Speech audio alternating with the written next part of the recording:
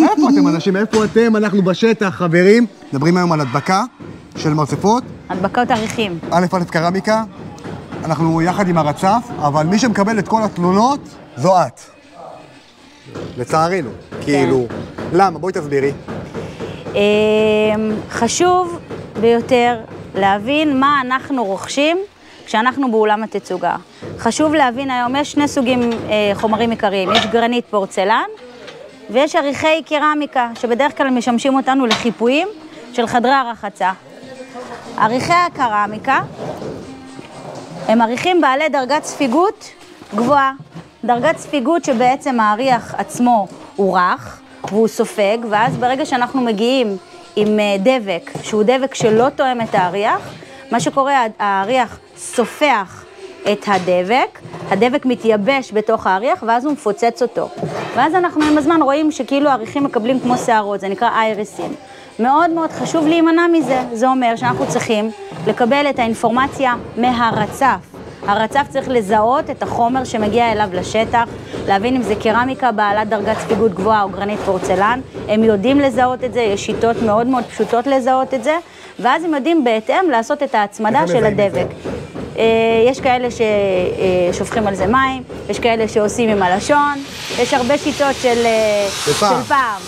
ואז הם מזהים באמת את דרגת הספיגות בשטח, אה, מה גם שרשום על העריכים, מה גם שרשום על הקרטונים, הכל רשום, הכל ברור. אנחנו רק צריכים לדעת לשאול את השאלות הנכונות וגם בשטח לשאול את הקבלן, שהוא בדק עם איזה חומר הוא משתמש.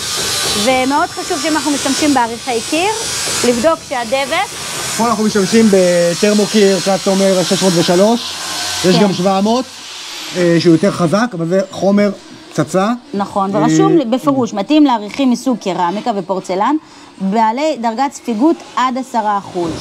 זה אומר שזה דרגת ספיגות גבוהה, זה אומר שהעריכים הם בעלי אה, אה, צפיפות פחות אה, אה, חזקה, והם צריכים אה, דבק שהוא פחות חזק, עובי שכבה, וחשוב לעבוד כמובן לפי התקנים של הספק עצמו. ברור. אז מאוד חשוב, וזה הטיפ הכי משמעותי שלנו אה, מבחינת ההדבקה, לבדוק איזה חומר אנחנו קונים, ואם אנחנו מתעסקים עם קרמיקה או עם גרנית פורצלן, ולשאול בשטח, לוודא עם הקבלן המבצע שהוא אה, הביא את החומרים המתאימים ליישום ולריצוף. ואז באים אלייך, לקוחות, ואומרים, כן. מה, נפל לי הקרמיקה, התפוצצה לי הקרמיקה, נכון? נכון, לצערי יש אה, לא מעט מקרים.